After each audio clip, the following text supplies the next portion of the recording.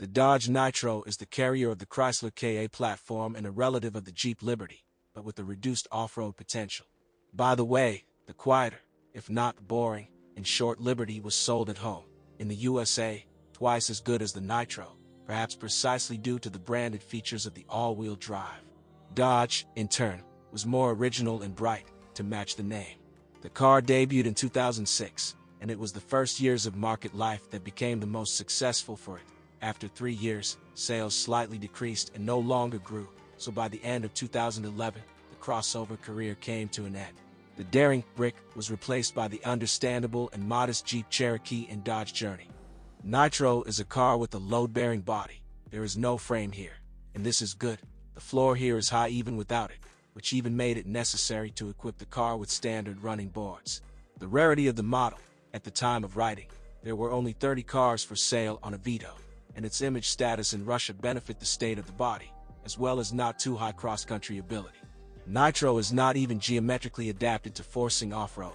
A clearance of 210 millimeters does not help with such a massive lip of the front bumper, so the approach angle is only 17 degrees.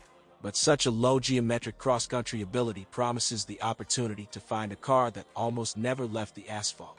The front bumper, however, is still worth a look. The owners complain that this is not a car, but a bulldozer, and damage from snowdrifts and curbs appears even without off-road rides.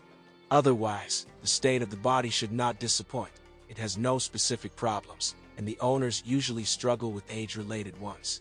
The square profile promises guaranteed stone chips on the hood and windshield frame, as well as on the edge of the roof. Here, on the roof, it is worth examining the niche of the hatch, if any, if lubrication is rare here, and the drains are clogged, corrosion also climbs confidently from under the guides. The bottoms of the doors rust noticeably, and in running cars, the paint leaves in large stripes along the inner edge, exposing loose rust. In addition, sometimes corrosion creeps out from under the door hinges, although fasteners are usually to blame. It is better to tug on the inside door handles immediately upon inspection. In fact, they are more fragile than they seem and sometimes there are cable breaks. By the way, speaking about the cabin, we can mention the funny illness of nitro. For many, the heater eventually begins to heat only the passenger side of the cabin, contemptuously blowing cold on the driver. The reason usually lies in the clogged heater radiator and is solved by flushing it. The fifth door is traditionally marked by problems in the license plate niche, and paint often begins to bubble around the rear wiper mount.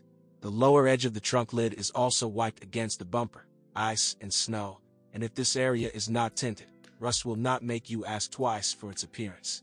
Well, in the trunk itself, it is worth evaluating the performance of the branded, retractable floor Load 'N Go. This shelf holds up to 180 kilograms, and this is what sometimes fails it. Thresholds are covered with plastic and additionally protected by steps, but it's definitely worth looking under them, because moisture and dirt accumulate under this protection. Massive wheel arches, by the way, are also plastic, so the previous advice fully applies to both the space under them and the joint zone. They are mounted on clips, and corrosion may well develop in the mounting holes. Chrome is a mandatory companion of the American crossover, and there is plenty of it in front, so typical problems with clouding and peeling are quite relevant. The bottom should not be surprising, as we have already said, these machines do not poke their nose into the mud, and the limits of geometric possibilities are quickly reached so it is unlikely to meet clods of dried mud in the cavities and peeled factory anti-gravity. Nevertheless, owners, especially American ones, were frightened by the suspension, rear axle, and exhaust system, which were covered with rust within a year or two after purchase. This, of course, is not a serious problem, but it is worth assessing the condition of the attachment points and the fasteners themselves at least to predict the repair of the chassis. The Nitro suspension is not able to surprise with advanced solutions, there are no typical American chips like air bellows, auto-leveling body systems, and so on. The front suspension is an independent double wishbone. The rear is a continuous axle, which is fixed by a five-link design. Of course, many original spare parts, including delivery, are expensive. For the front wishbones they ask for 15 to 20,000, for the lower ones, up to 30, and the simple rear levers and rods cost 5 to 7,000 apiece. However, for all this there are both substitutes and replaceable silent blocks, and shock absorbers and stabilizer struts, even in the original version, will cost 3 to 4,000 rubles. In general, there is nothing to be afraid of in the chassis. The only difficulty out of habit can only be the search and order of spare parts and a wide range of prices from different sellers. The power steering does not collect many complaints about the resource and usually serves its 150 to 200,000, and in the future it is suitable for both repair and replacement. Instead of a new rail for 60,000, you can buy a restored one for 20 to 25. Only some surprise can upset. For example, due to rarity, 30,000 are asked for an intermediate steering shaft, so knocks in the universal joint will either lead to disassembly or to chagrin. But with the brakes everything is simpler. They are disc in a circle and do not stand out in anything special. The original discs cost 5 to 7,000 apiece, and the rear non-ventilated ones turn out to be no cheaper than the ventilated front ones, although substitutes successfully solve this issue. It is also worth checking the operation of the drum parking brake with pads inside the disc in order to understand in advance whether you will have to lay money on its maintenance. Unlike the related Jeep Liberty, the Nitro received a very modest off-road arsenal, hardwired all-wheel drive via the NV143 single-stage chain transfer case. In the US, rear-wheel drive versions of the crossover were generally sold, but only all-wheel drive were supplied to us. In the absence of a lower row and wheel locks that the electronics are trying to imitate, movement on loose surfaces usually continues until the first stop, after which Dodge can no longer move. All this, however, does not negate the need to listen to the Razdatka for noise, assess the condition of the cardans and drive shafts. Front-wheel drives, for example, are expensive, 15 to 20,000, but there are no high-quality substitutes. The price of cardan shafts is traditionally monstrous, 60 to 80,000, which makes you be attentive to their integrity, since it will also not be easy to look for a part from disassembly. The Nitro had three transmissions, one manual and two automatic. It's unrealistic to find a car on the mechanics with us, so there's not much to say about it, although it didn't become famous for any bad deeds. But the automatic transmission option depends on the engine, A four-speed gearbox of Chrysler's own design with the 42 RLE index was combined with a diesel engine and a gasoline 3.7-liter V6, and the most powerful 4-liter engine was equipped with a Mercedes 5-speed 5G Tronic 722.6 on Dodge and other Americans, referred to as W5A580.